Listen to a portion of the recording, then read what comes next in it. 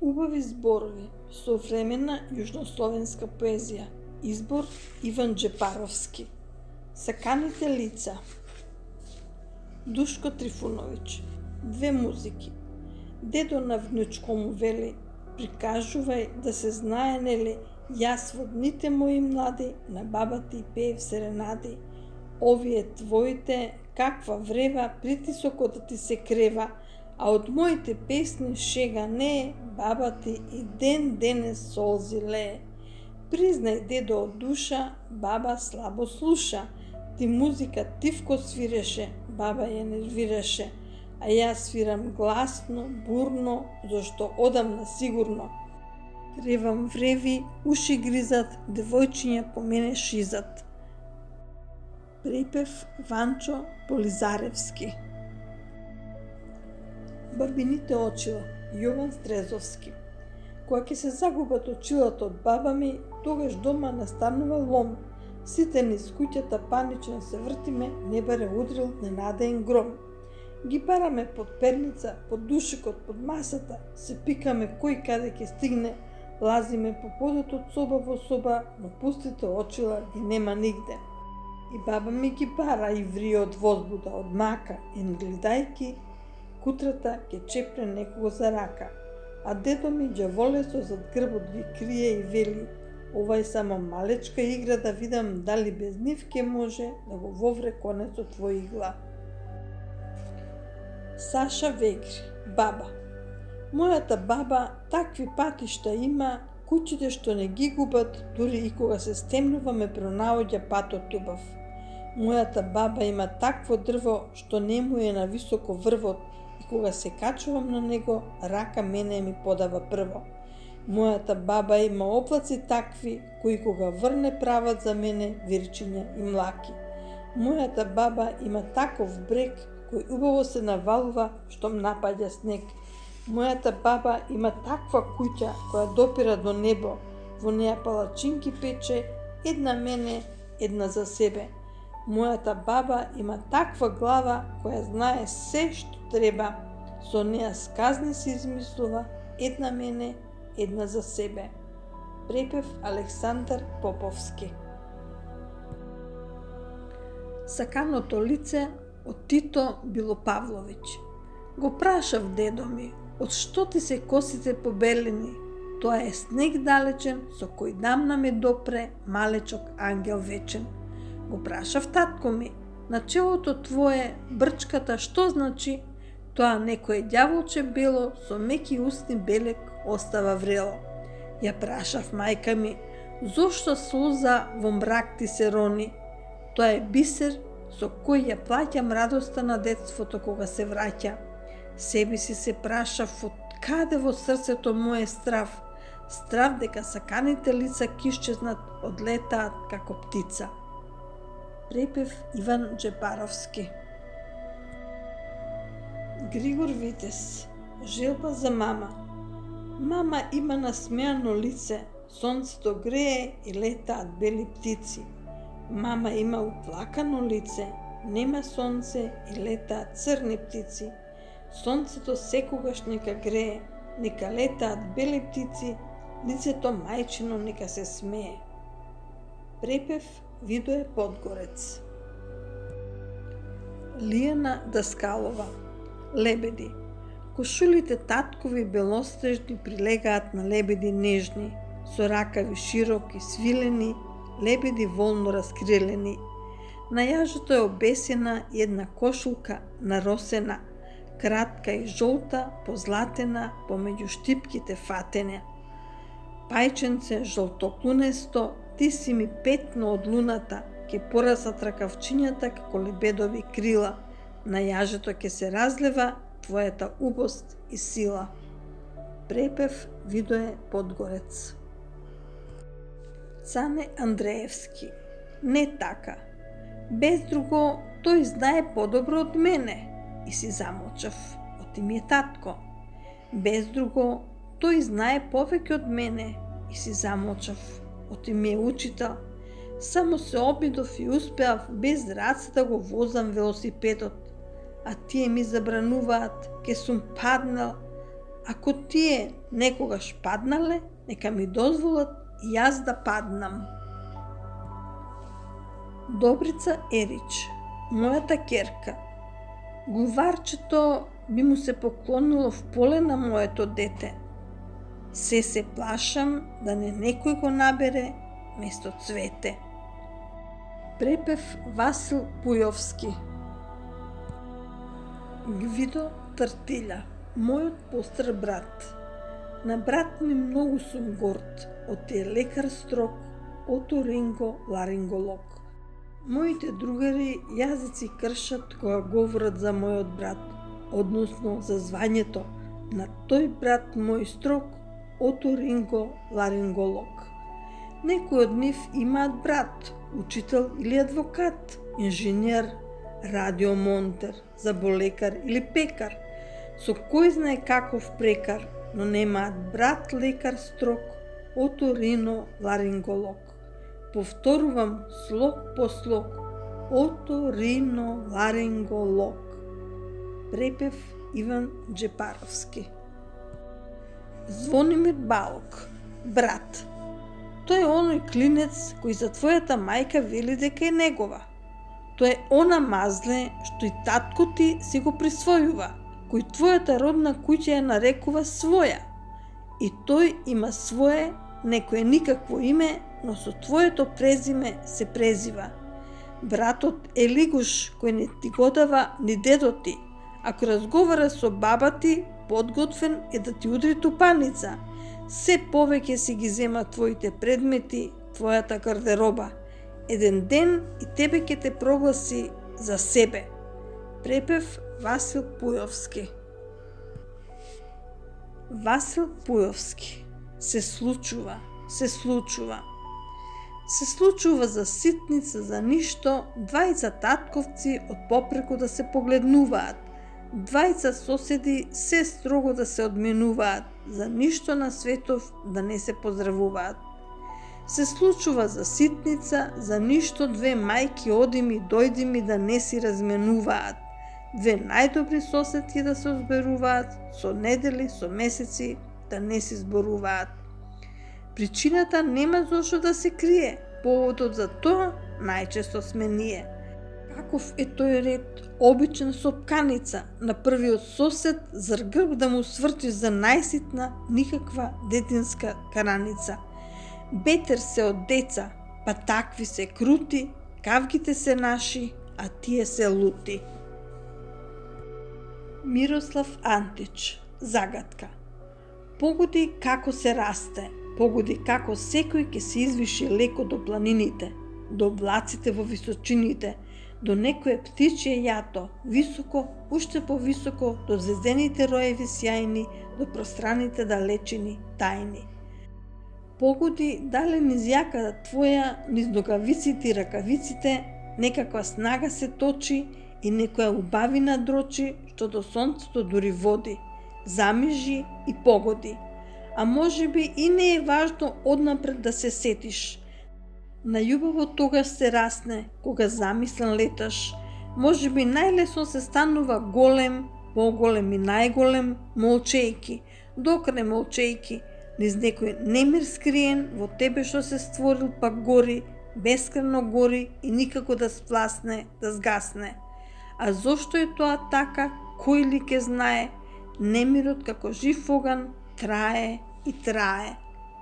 Препев Григор Поповски Георги Струмски Големиот и малиот Големиот настрана се ведне, го спушта ждатото рамо, а малиот забрзано ситни му допира до колена само. За рацете фатени сврсто се чекорат тие по другот. Големиот и малиот врват занесени в разговор умен големиот и малиот човек, животот секој е свесен и патот по кој што одат не е ни рамен, ни лесен. Разговорот им е машки и зрел, се нешто ги мами крај патот. Тие не брзат, часком ке запрат да скинат светец миризлив бел или пеперутка лесна да фатат. Ги разгледуваат земјата, небото, зиркаат и во грмушката стара, О, има ли нешто поважно од она за што сега се разговара? Светот им се врти под нозете, со години и векови под румот, големиот и малиот, чекорат во разговор бескраен умен. Препев Видое Подгорец Цане Андреевски Години и години Тие сакаат назад во моите години. Јас сакам напред во нивните години – а годините мои и нивните се сретнуваат во мигови кога една смеа ги скротува, кога иста солза ги сплотува. Страна 24 Ковината се брани со убавина. Петре М. Андреевски, таму е нашата река.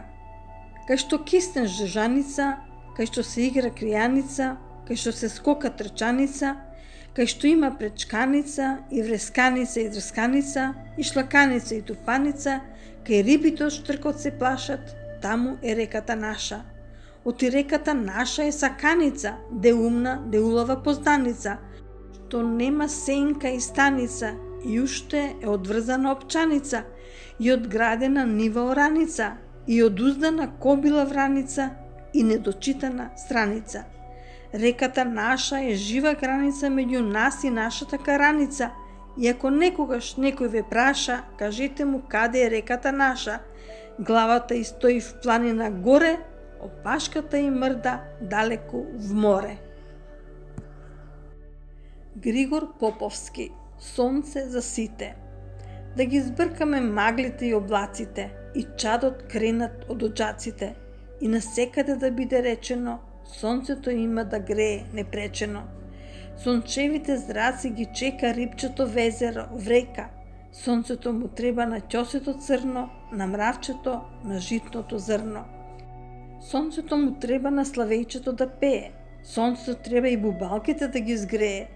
Сонцето им треба на нивите, на сливите, на смреките, на реките, на ливадите, на зградите, на прозорците, на луѓе, птици, елки, борови, по шуми, полиња, долови и дворови. Сонцето и на поетот му треба во сончева песна да ги стави и убавината на светот да ја слави. Любивое Ршумович, сонг за слободата. Птицата шета по небото, рибата шета во водата, бубалката шета во тревата, а човекот во слободата – Слободата е небо, слободата е вода, слободата е трева, човекот е слобода. Препев Ефтим Клетников Григор Витес Ние децата Ние децата ќе изградиме град со многу зелени крошни. Ние децата ќе изградиме град со голем син небесен свод – Ние децата ќе изградиме град со најголема улица на радоста. Ние децата ќе изградиме град што врагот никогаш не ќе го пороби. Ние децата ќе изградиме град во нашите срца. Препев Григор Поповски Видо е Подгорец. Убави зборови. Ајде да измислиме убави зборови. Еве вака. Да биде радост наместо мака се што е насилно, свире по грубо, нека го носи името љубов. Вистина станавме на место лага, смеа и веселба на место тага. Болката нека е ветрина сега, а сите војни да станат шега. Црното нека си остане боја, но да не тежи во душата твоја. Солзите, макав срце што носат, нека се претворат во капки роса. Стојан Тарапуза, силата на зборовите. Куќи и кули се зидаат со тули, се зидаат и огради и дворови, но тоа е нешто сосема друго. Песни се зидаат со зборови. Секој збор по нешто кажува, со збор и звезда се подлажува, и сонце во очи се насмевнува, и гладен, страден развеселува. Кога збор со зборови ќе се здружи, Војска е тоа што пука со ружи. Од ружите в срце пламнуваат зори и крвта зажарува како вулкан гори. Зборови има многу и секакви, убави, грди и уште некакви. Со нив се плетат разговори, се водат војни и спорови. Зборови, зборови маѓосни, често сте птици најрадосни, имате сила што лекува, со вас се расте и векува. Ненат Джамбазов Великден Го чекаме Великден со срце, со душа, Великденска песна секаде да се слуша. Јајцата бојосани блескаат ко свила, а детската радост секому е мила. Ке направи мама колачиња разни, Великден е најголем христијански празник.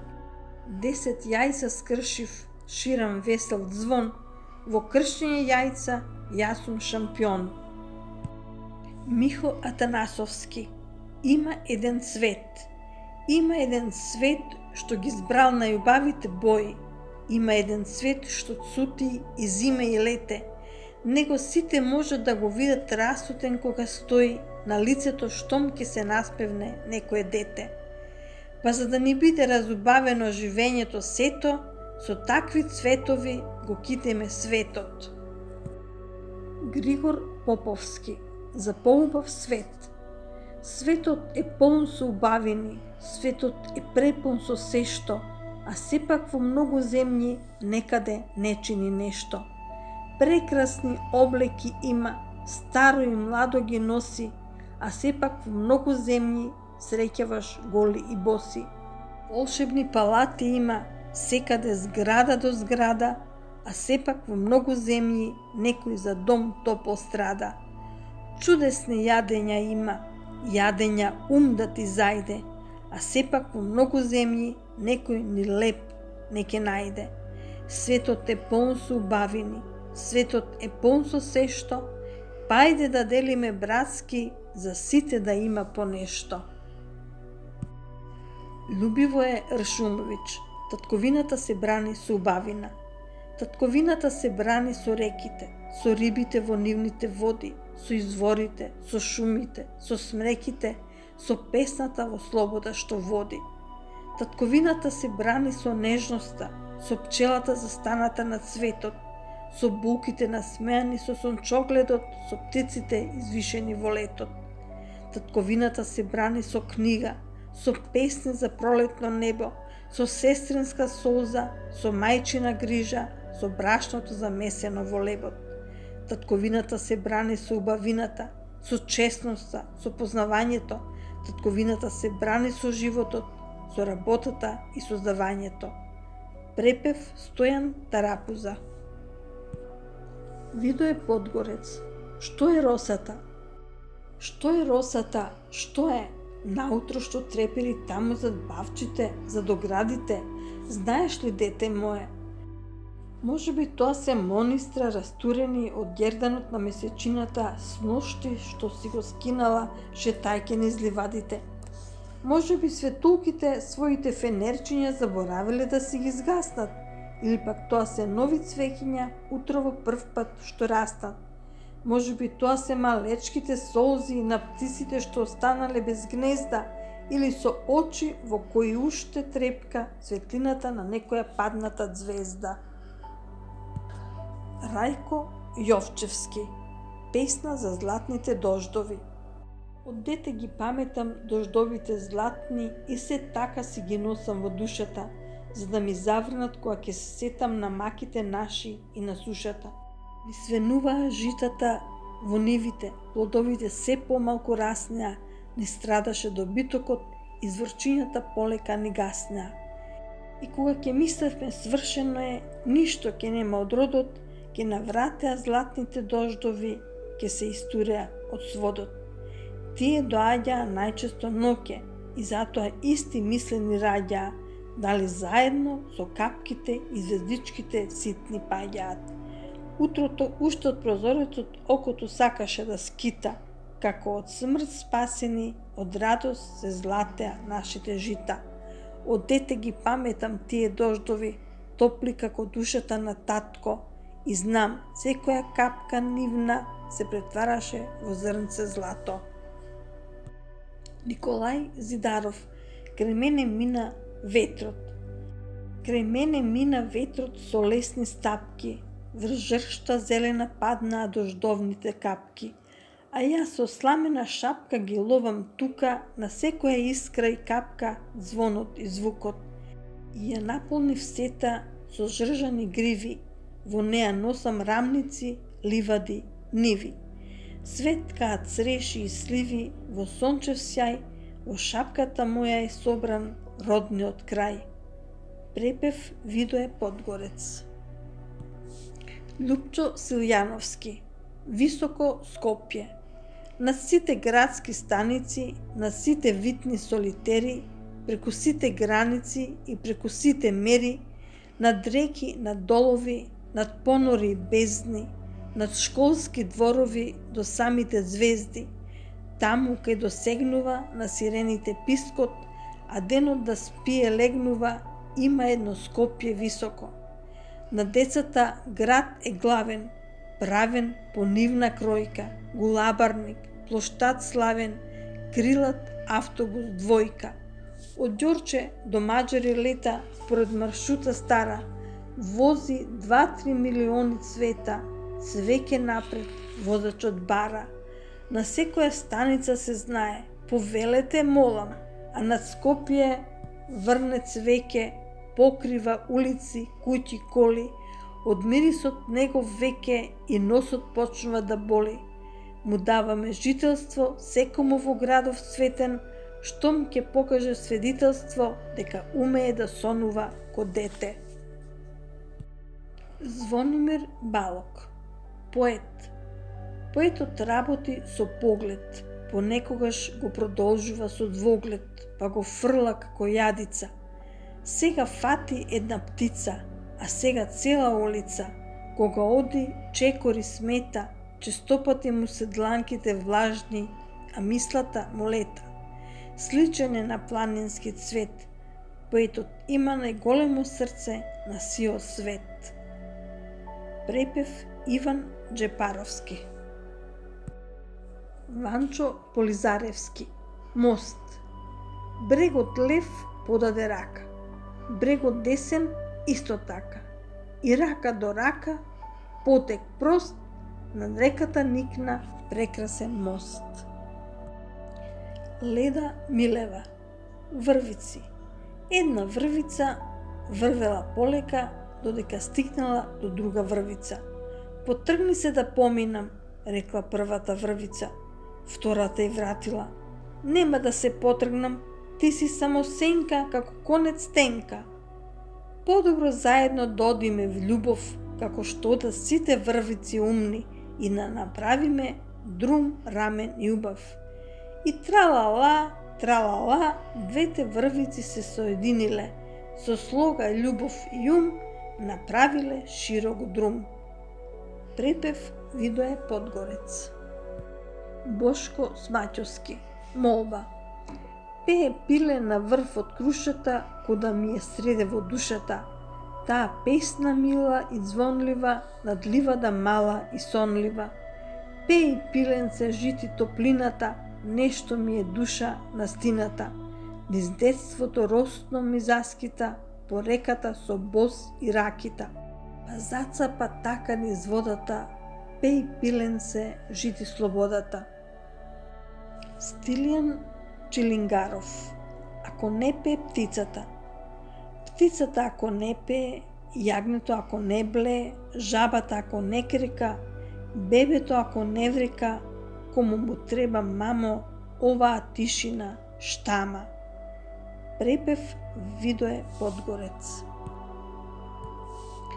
Надја Киклибарова, пролетна. Полјаните качунке ги красат, каде и да минеш, кој ке може, кој ке стаса, сите да ги скине. Препев Видое Подгорец. Александар Поповски. Липа. Беше минал месец мај, Средулица, крај цветна липа, слика реден си намесу штафелај. Врз платното бело, едно чудо разни бои, вешто сипа. Па сега и среде зимо, како да е месец мај, ни мириса цветна липа, си пиеме липов чај. Бошко Сваќовски, Пазар. Тргуваа Јоргова и девојче. Имам сидни очи за продавање, рече девојчето, а јас имам мирис за продавање, рече Јоргованот.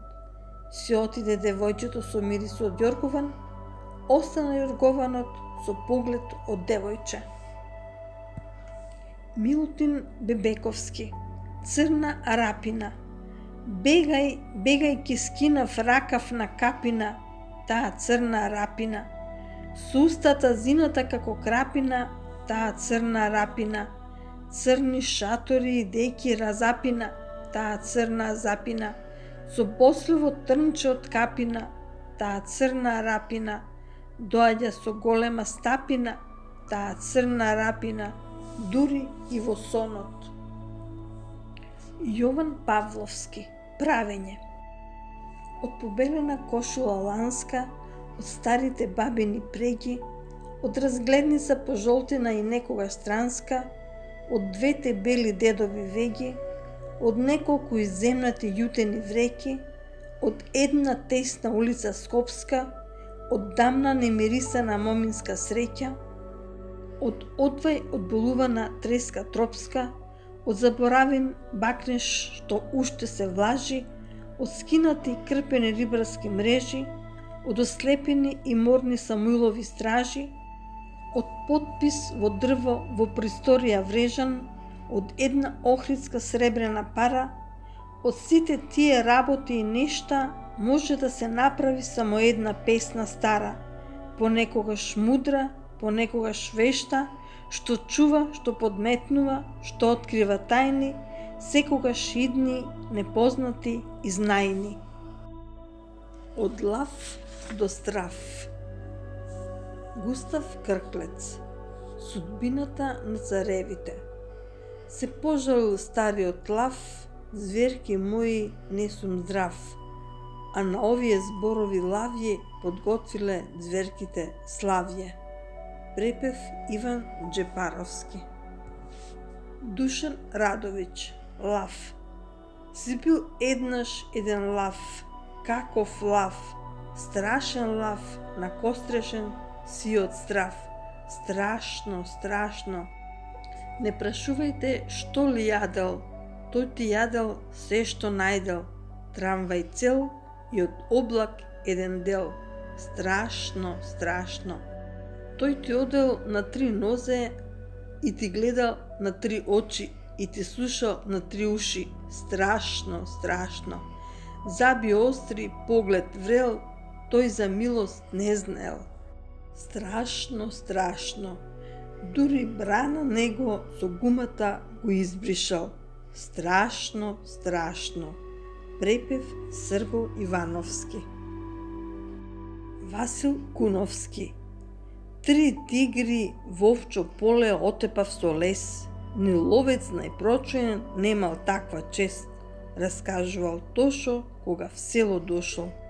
Тигрови вовчо поле нема таква зверка, па ќе нема сигурно, јас им земав мерка. Радко Зврко Крокодилски солзи Утринава крај Нил велат се собрала една смела крокодили чета цела. Најстариот од нив свесно се испул лево-десно, па извикал многу бесно. Леле браќа, тешка мака стигна писмо, стој вака, од град Загреб токму така. Од завчера, знаете вие, една клиника срам да е, нејке млекце да се пие. До што крокодили биле, сите страшно се вджашиле. Веста в миг ги растажила, растажила, нажалила, па плачеле, в грч се свиле, ошто толку тажни биле. Со солзите зло се згоди, низ нив веќе не се броди, најдојдоа страшни води, разурнаа многу брани, поплави на сите страни, од водите одвај педа на старите пирамиди, само врвот им се гледа. Препев Васил Пујовски Любивој Ршумович Телефонијада На средрумот царски свечен, прашумата што ја сече, се сретнале еден бел слон еден црн телефон. Ало, рече слонот. Ало, рече телефонот. Кој праша слонот. Кој праша телефонот. И така до бескрајност. Ни командирот на шумската стража си од збунет не ми кажа дали слонот телефонира или телефонот слонира. Препев Ефтим Плецников Нико Графенауер Пингвини Во бела кошула, во црн фрак, чекорат пингвини. Танцуваат по безгласен такт, по мразиштата сини. Кој на нога, кој на лакт, според потреба своја, во бела кошула, во црн фрак, на брегот си стојат. Гиздавци се плашат в брак, чевли да не шлапнат во вода, во бели кошули, во црн фрак, а боси наоколу одат. Препев Александар Поповски Ванчо Полазаревски Ајкула Нека лае, море нека моли, ни случајно да не му се дозволи бутик да отвори среде океан, тој пес морски секаде луто опеан.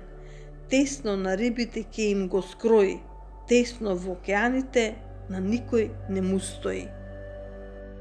Ристо Давчевски Запот на нилскиот конј Еј, Забаро, се подналоти нилскиот конј, работата ти оди многу слабо.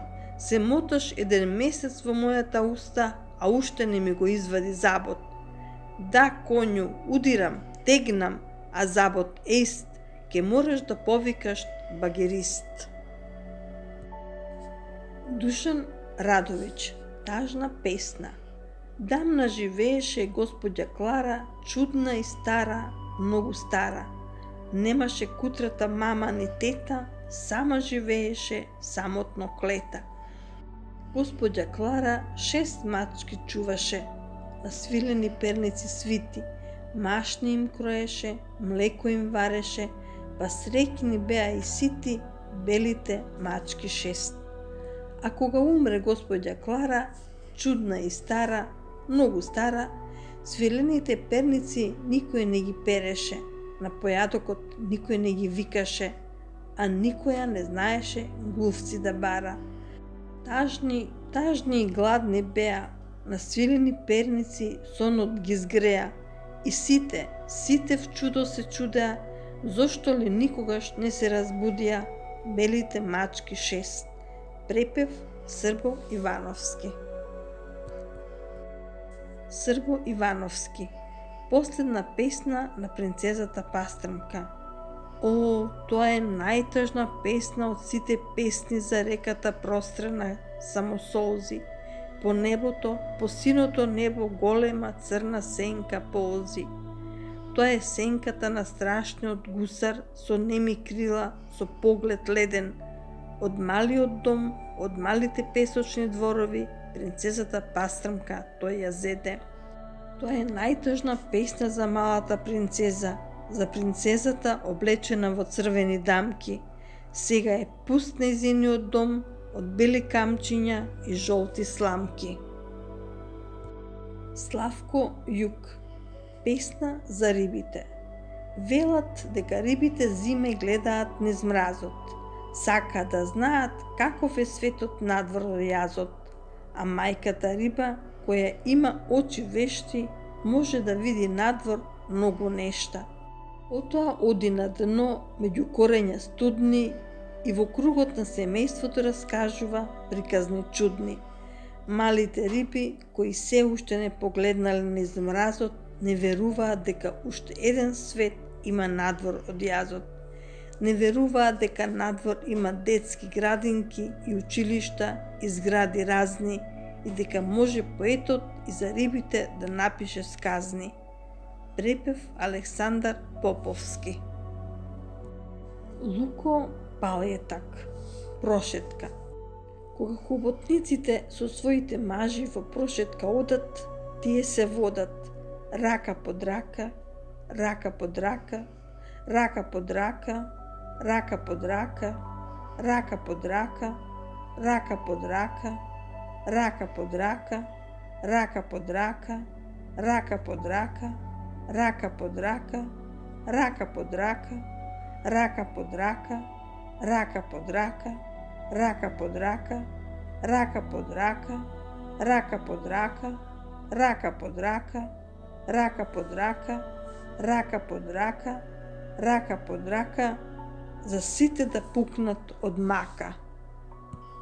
Препев Иван Джепаровски Петр М. Андреевски Знам една стоногалка. Знам една стоногалка што везден талка и сите нозе под еднакво ги валка. Оти таа стоногалка не е свесна која нога е лева, која десна. Дали сите нозе во ист пат и одат, дали сите на исто место ја водат. Затоа секогаш некого го моли за да ја каже која нога ја боли, која ја е пргава, а која трома, која сака прва да се врати дома. И сегде и треба послушност и слуга меѓу првата и последната нога. Радомир Андрич, кртица. Кртицата не е птица, не е еш, не е жаба, не е кртицата слична со лисицата. Кртица е чинам во моето деление едно девојче Итрица, за кое велат дека е вредно како кртица. Препев Рајко Јовчевски Душан Радович, синиот зајак. До три земји поминав, до три гори прегазив, три мориња препливав, дури не го уловив, синиот зајак, чудниот зајак, единствен на светот. Овој зајак знае да свири. Овој зајак знае да плете. Овој зајак и ручек прави. Овој зајак и куќа мете. Овој зајак да пее знае, овој зајак да жнее знае, овој зајак секи стори, па и француски ке збори, ко французи дае. Синиот зајак, чудниот зајак, единствен на светот. Вам да ви го дадам, сакам да ви шие, да ви пие, да ви крои, да ви брои, да ви плете, да ви мете, да ви пее, да ви смее, па и ручек да ви стори, и француски да ви збори, синиот зајак, чудниот зајак, единствен на светот. Во турбата јас го ставив, па побрзав да се вратам, но пред кучни порти бели слушам зајко кај ми вели. Пушти ме ловецу, силен ловецу, да исчешлам коса, да измијам лице, да исчистам глава, да исечам ногти, да дотерам глас, да исправам става, да го видат децата силниот зајак, чудниот зајак, единствен на светот. Од турбата јас го пуштив, но зајакот не се изми и коса не се исчешла, не исчисти глава, не исече ногти, не дотера глас, не исправи става, а избега, ој несреќо на крајот на светот, ој неволјо, синиот зајак, чудниот зајак, единствен на светот. Препев Србо Ивановски. Видо е Подгорец, кос. Познавам еден обичен кос, има клун, а нема нос. Не е ни мечка, ни елен рогат, малку е умен, многу е богат. Тој си нема куќа, ни кревет, но затоа има земји девет. Прва земја Брезова, а втората Слезова, третата земја Борова, четврта Јаворова, пета земја Липова, шестата Јасикова, седма земја Врбова, осмата Тополова, деветата земја Црна носи име три гроздови зрна. Па сепак нашиот пребогат кос краде туѓо грозје, лета гол и бос. Михо Атанасовски Страв. Зајакот на пат магаре виде, па избега од страв. Викна, бегајте иде, да не изеде еден лав. Соби за слободни активности. Дане зајцт. На хартиени летала. На хартиени летела се лета најтивко. На хартиени летела се лета највишно. На хартиени летала се лета без мака. На хартиени летала стигнуваш кај сакаш. Препев Александар Поповски. Славе Ѓорѓо Димовски. Атлантида. Метеор низ океан мина ја освои Атлантида – Гледај, место воздух водата да се дише, нема небо, простор вишен. Место птици јато риби плива, сета околина е молчелива. Место возила школки на улица, на прозорец бисер место сијалица, на площадот раскошна палата, еден делфин пред нејзина врата. Но в миг метеорот сгасна, гледката стана нејасна. Јован Павловски. Купување. Купувам ветва облика, линија некогаш рамна, пелени велени, црвенкапи пајки, детски играчки, огништо изгаснал дамна, од некое детство купувам бајки. И купувам играчки, плачки, износени нешта, напуштени градови, рудници, река Сува, оловни војници, затворени врати, игра вешта што може да лекува, од лошотилок да чува. Погледнете добро по старите тавани, зирнете во сите ќошиња, во старите дедови вреки, чукнете во звона, тропнете во месингени авани и продајте се што ви досадува, што в час ви пречи. Ајде продавајте, продавајте ајде, Јас купувам се што може да се смени. Го купувам она што го нема, она што се таи и дел од сништа и дел од спомени. Ванчо Полазревски Соба за слободни активности Живеела куќа за седум ридови со пет соби и нешто зидови. Првата соба Евала била во состојба жална, по цел ден се продзевала – ја нарекле спална. Втората никогаш сита, уште од зора рујна полапачка ита, ја крстиле кујна. Третата соба била чиста, од миење и триење, лизгаво како сања, немало чаре, станала бања. Четвртата убавица редка, по упос чиста петка, намирисана во секоја доба, заслужено станала гостинска соба. Петата соба проста била, чиниш сокот бос, но за мене мила, мила, родена за чепкање нос. Петре М. Андреевски Смешки Смешно е кога некој ти вели дека животот со тебе го дели и кога пожаво се мачи на својата куќа да се качи и кога не можам да решам како може ежот да се чеша. Смешно е и што не знам дали и огнот на Жешко се пали и дали некаде е во мода и водата да пие вода и не знам колку е грешно и смењето ми е смешно. Григор Поповски, случајна песна. Можам да речам ат, можам да измислам пат, а потоа атот нека трча по патот. Можам да речам дол, можам да речам вол, а потоа волот нека пасе по долот. Можам да речам лав, можам да замислам прав, а потоа лавот нека се валка по правот. Можам да речам брег и да го навеам со снег, а потоа брегот бел нека биде со снегот. Можам да речам се што, ни умно, ни многу вешто. Можам да речам бам, а зошто не знам ни сам но можам да речам и тоа жми крајречна трска, дека така се прави најдобра песна без врска. Борис А. Новак Роднини Сите нешта се во сродство, вили и вилјушки, мечови и ножеви, лопати и лажици. Вилите и вилушките се роднини по името и намената, демнат по животите на салатите и сеното.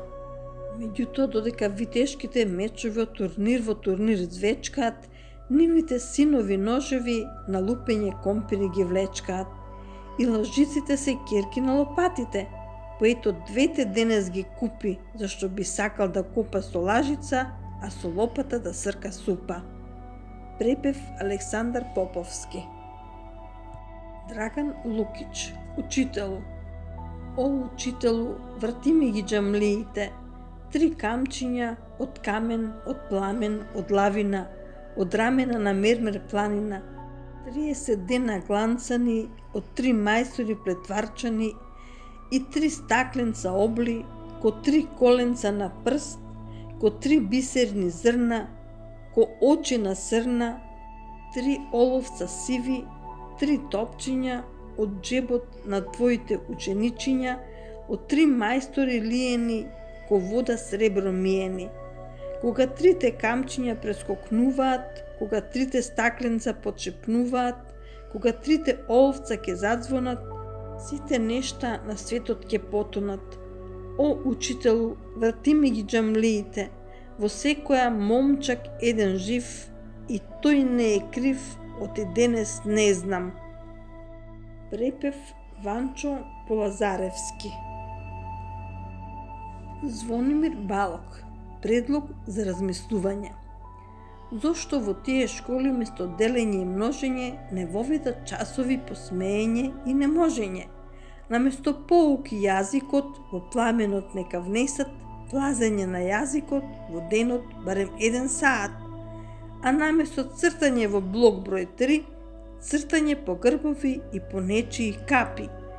Боите може да се прават од мед, мармалат и зарзават.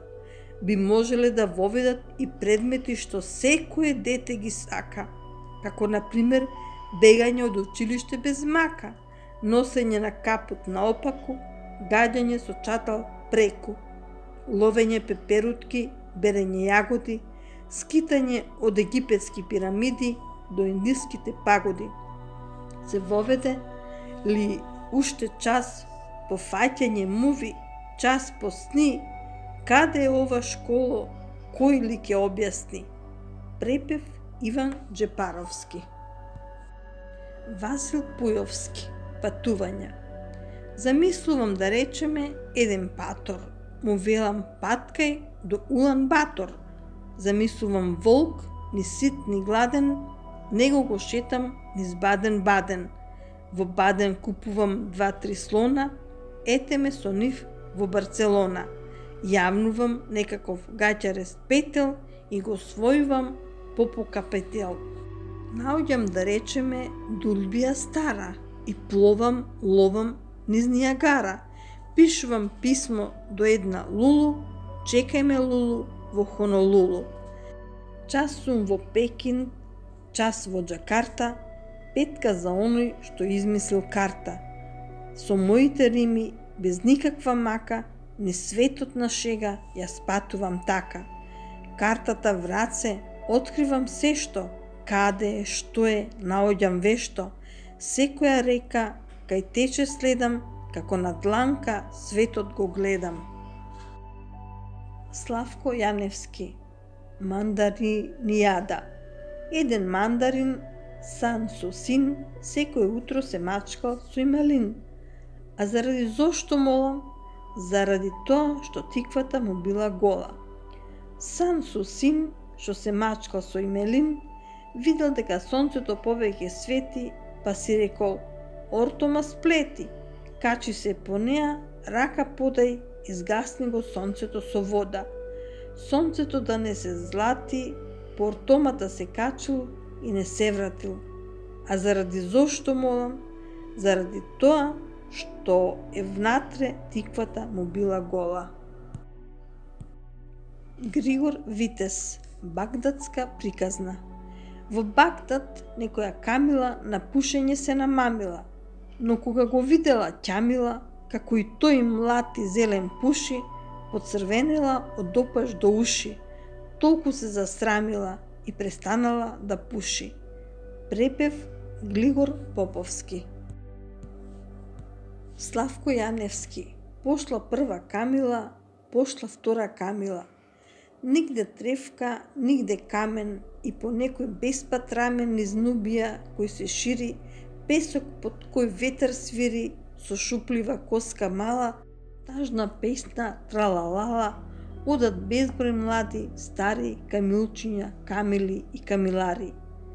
Крај Нил таа река света, бела чапла со крик лета, и фараон еден стои, од камене, стар и престар, но во себе везден број. Пошла прва камила, пошла втора камила, пошла трета камила. Нил се влече, свој пат знае, во песокот живот кае, Фараонот на трон седи, ни се движи, ни пак лепка, бројки реди. Пошла шеста камила, пошла седма камила, пошла осма камила. Со векови дните минат, не се кинат, па се низа, достојни за анализа, зашто вечно ветер гони, пол облаци браќа своји, зашто вечно Рамзе зброи милиони, билиони, млади стари, бедуини, камилчиња, камили и камилари. А во една таква сметка, секој лесно ќе се сплетка и ќе падне в тежок сон. И затоа, браќа мои, се одново исто број. Камениот фараон. Пошла прва камила, пошла втора камила, пошла трета камила. Софе Штеровски. Осуда на медицината. Лажат дека медицината цути. Ние учениците сме и лути, па прашуваме во еден глас зошто не запоставува нас. Измислува лек против грип, против болести секаков тип, а не измисли спас за учениците, апчиња против единиците. Но тука нов проблем се крие. Кој треба апчиња да пие, за да исчезнат единиците, учениците или наставниците? Славко Јаневски Приказка во спротивна ред на литературната дружина од село Жидилово. Ноќеска во 5 до 12 на Шангајската станица видов страшна турканица. Поточно сето почна со извикот на една крошна дека го заборавила стопано зад граница. Еднаш потоа една вреќа со леќа, плачна по човечка плеќа, од затворен вагон тропна и таа го загубила својот стопан. Потоа еден куфер црн, како да стапнал на трн, писна, се отвори, заплака, проговори, го имала некоја дамичка, керка мамина или керкина мамичка, со чешлев коси, сега кој ќе го носи? Друг еден со голема брава се тресна по кожената глава, со стопанот се загубило и неговото куче. Сиромав од збунетост заборави да зборува, заборави и ла да изговорува, а сакаше да каже клуче. И веднаш по 23 вагони на сите класи, чета куфери и торби се гласи. Останавме без стопани, живи сме закопани. Изначина вистина на шангајската станица бе сведок на мешаница, крцкаат вагоните и фургоните како живи, а пред нив две локомотиви сиви се подкренаа на тркалата задни, една до друга се стиснаа и како гладни со железни грла писнаа. уу Рамно во 27 локомотиви, вагоните и фургоните појдоа редум тика така, тика така, од првиот колосек в мрак. Утредната на долга листа прочитав огласи 20 или 30 торуби, врејки, сандаци и куфери живи закопани ги бараат своите стопани, а не наоѓаат чесен без некој да се навредува, награда им следува.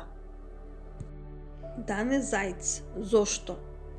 Зоштото дојде кај зошто да го праша зоштото зошто е зоштов.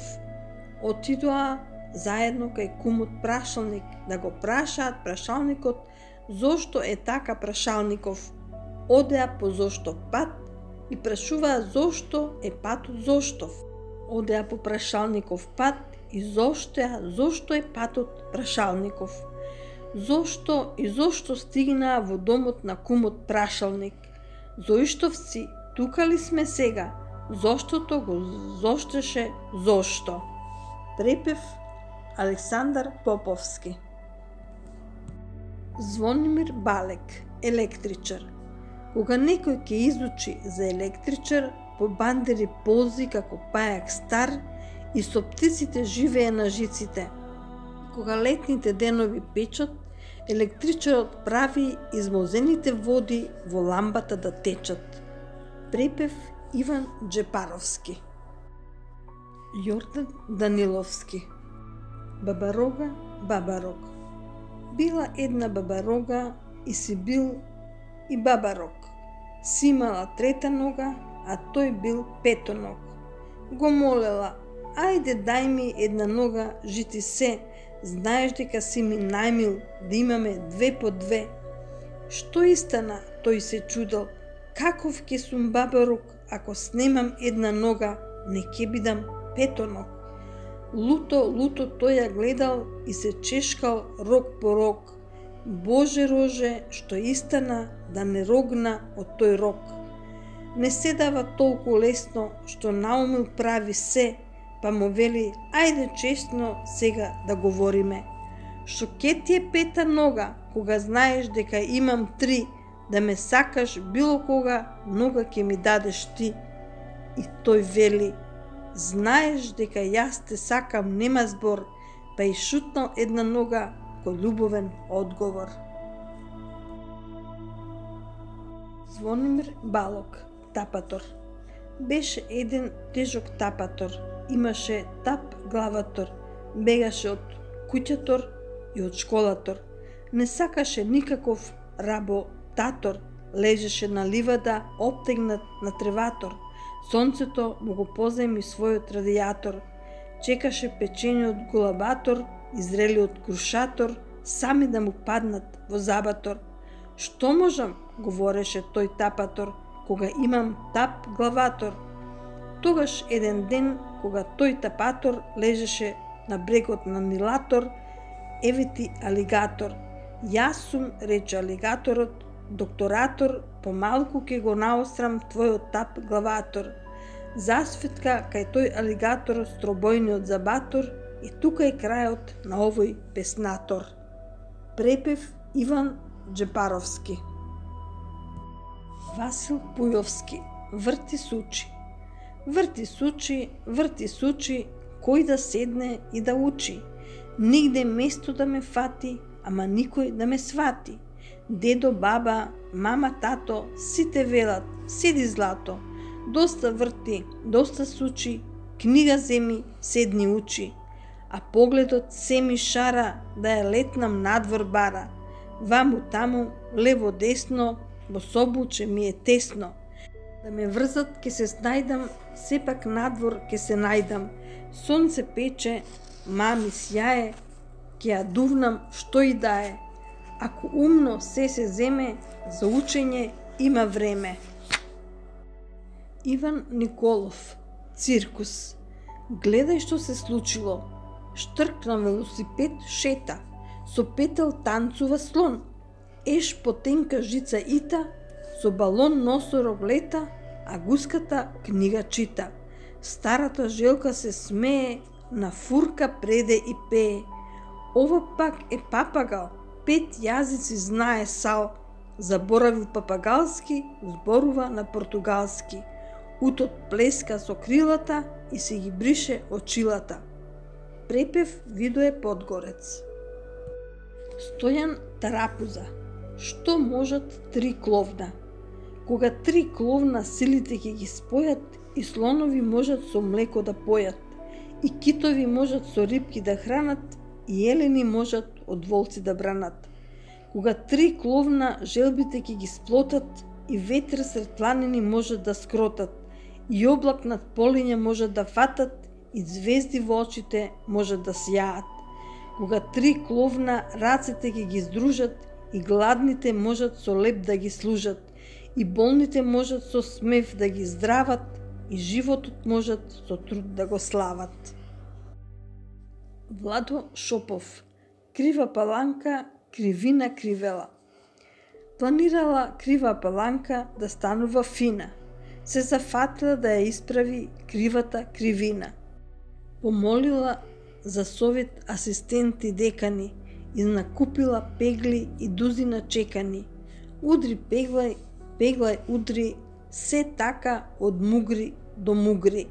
Се пеглала, се исправала, од кривото земала, право додавала. Кога завршила со чукањето, со пеглањето, кога привршила со исправувањето, паланчани како да ги згромил гром, место права паланка добиле аеродром. Ги дофатиле луто пеглите и чеканите, па без совети од асистентите и деканите, не седнале паланчани, нозе не скрстиле, се дури исправеното не го запустиле. Првото љубовно писмо Дане Зајц Врата Зад големата врата има уште една врата. Зад уште едната врата има уште една врата, мала. Зад малата врата има уште една врата, помала. Зад помалата врата е најмалата врата, најмала. Зад најмалата врата има уште една врата. Таа врата е вратниче. Зад вратничето е бавча. Во бавчата е малата бавча. Во малата бавча е помалата бавча. Во помалата бавча е најмалата бавча. Во најмалата бавча има градинка. Во градинката има ружа. Една сама, мирисна. Таа ружа е за тебе, најубава и најголема. Препев Александар Поповски Луко Полјетак Првото љубовно писмо Ке напишеш нешто без врска – некоја реченица глупа, на хартивче некое мало, ке препишеш стихови со пенкало, волшебни како трска, напиши го сето тоа јасно и тогаш кога не е опасно, стави го тоа под клупа. А потем ноќта цела не спиеш, како лут, и се превртуваш само, и мислите да ти се таму, на школо, иако е недела, мислиш што ќе биде утре, се тресеш како кутре и си чекаш краен суд. А тој важен се прави и на сите име мака, а има единици три поради некои бакари. Така ни да се јави, но кога нешто ќе те препне, подготвен е и да почепне. Тогаш знаеш дека те сака. Препев Иван Джепаровски Лјупчо Силјановски Светлуки во срцето. Послушај ме, сестро, послушај ме, брат. Срце ке те пече често и ќе те боли првиот пат. Прв пат кога сониш едни црни, црни очи, па паѓаш во нив, па тонеш без почин. Прв пат кога гледаш дека спиеш буден, имаш лика бледа и карактер чуден. Прв пат кога слушаш како светот и се смее, на детската душа, која детска веќе не е. Прв пат кога рака, друга рака земе, па е води така, кон аголот темен. Прв пат устни кога врз устни ке слетаат, рој светлки тогаш во срцето летаат. Месеците ќе си течат, годините ќе си бегаат, но светулките ќе печат и ќе жегаат, лежегаат. Мирослав Антич русото перче. Перченце коса обично носат некој над окото, некој над носот, но има едно перченце русо каде што обично никој не го става. Што мислите? Каде? Во мојата глава. Како може в глава тоа перче кусо? Ете така, в глава. Но тоа не е моје перче русо, туку на Сонја од 6А. Па, Е, ке видиш, па, кога ден ке дојде и перченце такво нечие чело го краси и злати, во твојата глава место ке си фати, па се опаметуваш, па се вдрвенуваш. И нема, нема, па поцрвенуваш, па ногти си гризеш, лицето го криеш, па нешто матиш, па често патиш, па Божем учиш, а в глава ти бучи. Бркаш репки и ромбоиди, ќе збркаш ноти и пирамиди, ќе измешаш пчели, пеперуги бели, спортови игри и тропските билки и старите грци ки ги збркаш така, па ти доаѓа да пукнеш од мака. Сега гледаш што е тоа русо перче што в главата твоја зафатило делче. Па од момче мило, јуначе смело, ке направи влечко со стемнито чело. Препев Григор Поповски Рајко Јовчевски За сите девојчиња За сите девојчиња што личат на прекрасни цветови од вишни, што знаат да испраќаат погледи скришни и во сонот да навраќаат како топла плима и уште толку да ги има, ке нема зима. За нив право да си кажеме понашки, како будилници тропаат срцата машки. За сите девојчиња од сите континенти, ова не се комплименти, би јавнале крилест ад и по млечен пат по небо би минале, и звездички за герданче би скинале и би го ставиле како украс на нивниот врат. За сите девојчиња што ќе посакаат без пречка, ќе отепаат и големата и малата мечка – тие и квачка со пилиња би ја фатиле и на земја би ја вратиле. За сите девојчиња од таа далечина би донесле парченца месечина, зашто се решени тврдо, но се плашат да не се разочараат девојчињата кога ќе го видат небото, потоа без месечина, така осакатено и грдо. За сите девојчиња, машките како на љубава книга срцата ќе им ги откриваат, само ако не им се смеат, ако не им се подбиваат. Мирослав Антич, најмала песна. Еве ја најмалата песна, помала и од зрнце ситно. За едно момче во неа насмевка има и писмо итно. Ако знаеш која го праќа, што уште да речам? Ајде, ако не знаеш која, тогаш што ти е гајле? Препев Григор Поповски Васил Пујовски Орбита Месечината се врти, се врти, се врти околу нашата планета. Земјата се врти, се врти, се врти околу Сонцето, шета. Се вртиме и ние, се вртам и јас, се околу една весна од соседниот клас, но знаете, Весна има една мана, се врти, се врти на спротивна страна. Не гледа, не ме забележува, ама рекла, одлично ме чита. Рекла да ми речат, нема лутење, не сум во незината орбита. Добрица Ерич не е само таа на светот за момчиња.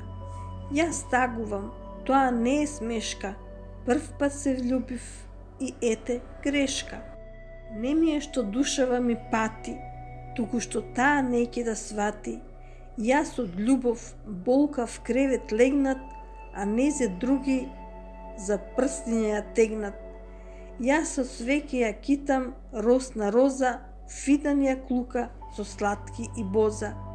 Јас си праќам пораки, љубов ме намачи, таа на Зоран му решава задачи. Јас ја сонувам меѓу глуварчиња, таа се брка со другарчиња. Јас и составувам песни румувани, таа чита шунт, романи стрипувани. Јас се сплетов цвеќе в китка, таа не сака посокаци скитка. Неќе песни, ниту свеќе, о мака, дури ни овоше, па што таа сака? и реков на брезата и тополата, таа е најубава во школата. Ке му шепнам на секој полски цвет, не е само таа на овој свет. Препев Ванчо Полизаровски Мирослав Антич, здодевна песна. Толку ми е здодевно, па не знам што да правам. Кога од училиште излегувам, капата над левото око ја клавам и барем со тројца се мавам за да ме видат девојчињата. Девојчињата се суштества смешни, долгоноги, валчести, дамкави или кусогледи, многу лажат и озборуваат, љубовни писма пишуваат и под клупа ми ги ставаат. Сето тоа здодевно ми е, но писмата сепак ги читам. Најубавите зборови си ги препишувам. Може би ќе ми требаат некогаш и од тие што ќе останат книжни бродови правам, правам птици, соларници и жаби и Божем си играм, а толку ми е здодевно. Здодевно ми е и да пораснам, тесни чевли да носам и да се оженам. Тие што пораснуваат, првин со денови се мразат, потем со денови се караат. Жал ми е само за тато, да беше се останал дете. Ех, што убаво ќе си бевме здружени и заедно ќе бевме влюбени во наставничката по историја. Сето друго здодевно ми е. Здодевно ми е толку, па не знам што да правам. Туку капата на доко ја клавам и уште со тројца се мавам, дури и ако нема девојчиња. Препев Григор Поповски Ивица Вања Рорич Тајна Секогаш кога од умор паѓам, од чат и вреба и се што шкрипи, сакам да сум на крај градот, кај мириса мојата липа. Со денови таа чека, јас сум оној што се враќа, ме виделе оддалеку, со гранките поздрав праќа. Само одвај да ја допрам, се стресува како зиме, замолчувам, но ја слушам го шепоти моето име. Пуштетене, дури сјајна звезда над неа пена сипа, да ја молчиме, твојата тајна, јас со мојата верна липа. Препев Васил Пујовски